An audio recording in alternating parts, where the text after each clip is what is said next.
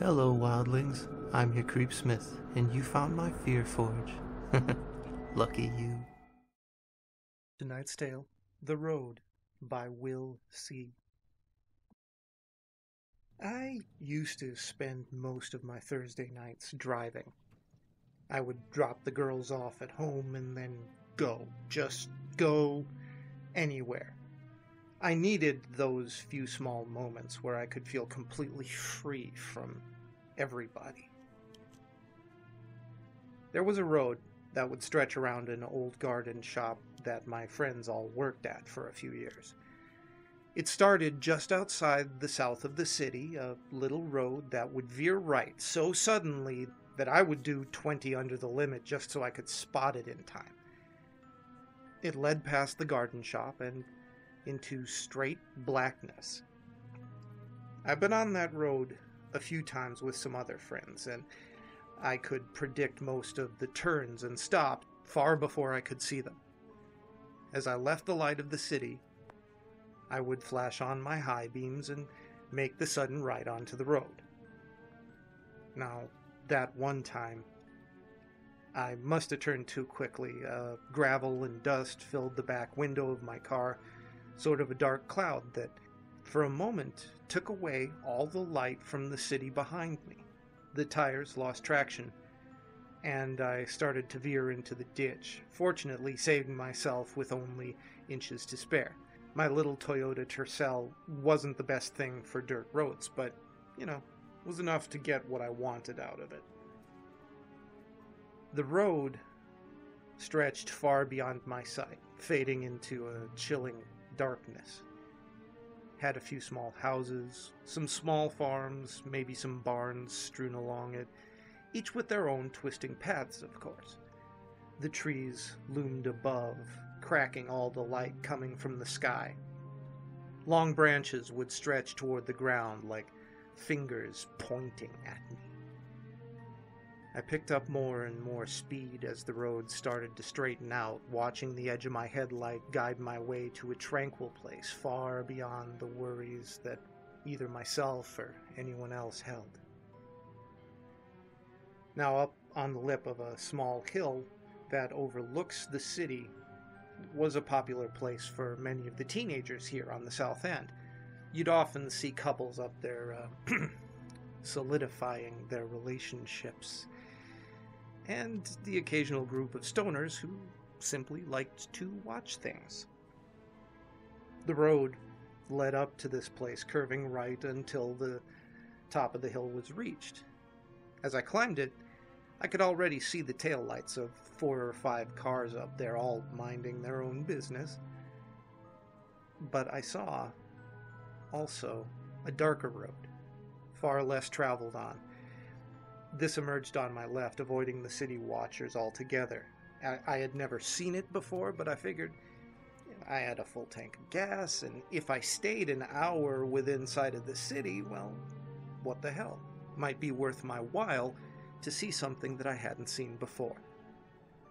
This road runs directly west, and it was completely straight, no houses, farms, barns, or anything else alongside.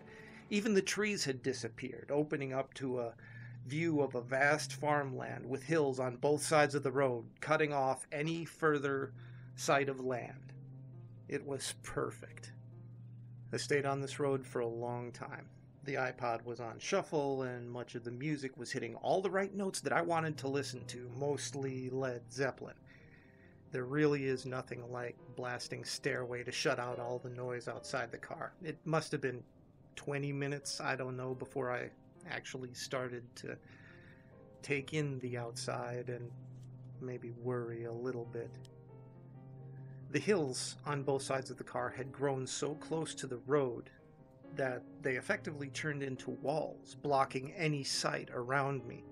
Tiny valley that seemed to stretch on into infinity. At a certain point, I figured I should just turn around and come back the way that I had driven. I hadn't made any turns, so it should be easy for me to follow all the way back. So I pulled over and made a U turn, even signaled for it. I don't know why I did, but just for a second, that signal light caught something that stopped me in my tracks. It was tall and looked like a person, but it couldn't have been. I mean, it could have been a bush that the shadows made to look taller, even thinner. But I waited there for a few seconds with my headlights on, and there wasn't anything there. I kicked my car into the highest gear and I was sailing. Wasn't going any faster than I needed to be, since there are tons of deer that like to run out in front of things out there, but it was fast enough that I was breaking the limit more than I was obeying it. From behind me, a light started to fill my mirror. I couldn't make out what it was at first, but then it cleared, and it was definitely headlights. And they were coming closer. I started to slow down a little, but I kept the momentum in case it might be one of the highway patrol making the rounds on the desert roads, but on the deserted roads. But something told me that whoever this person was, it wasn't a badge.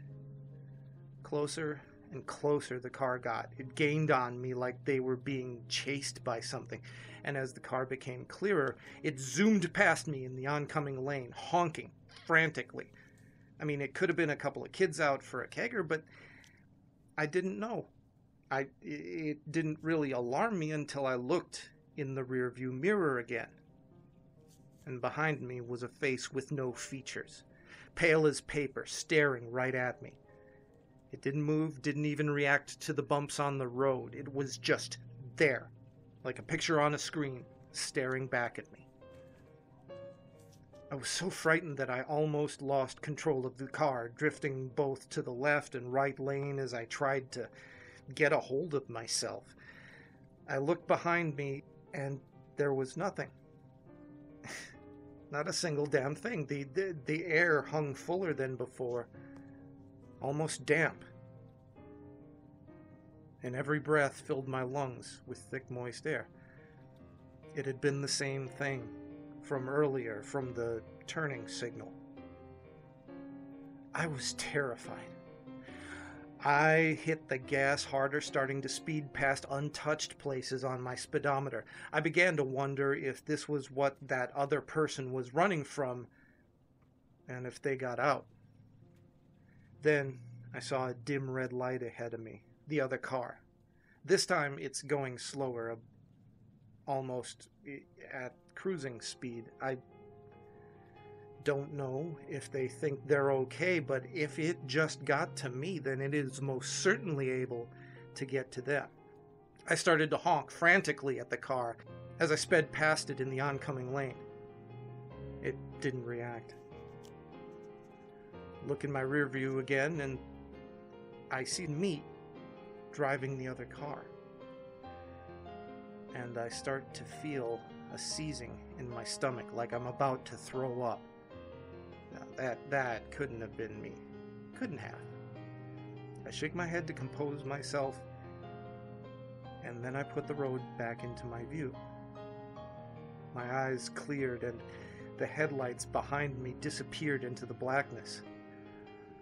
I was finally out of it, and I could start to see the hills spread apart to where they had been in the beginning. I let out one little laugh at the situation and start to rub the tiredness from my eyes. When I open them back up again, that thing was in front of the car, dark and hunched over and staring back at me with those same non existent eyes. My wheels caught on the gravel as I tried to avoid it, and I ran full speed into the ditch, flipping the car over.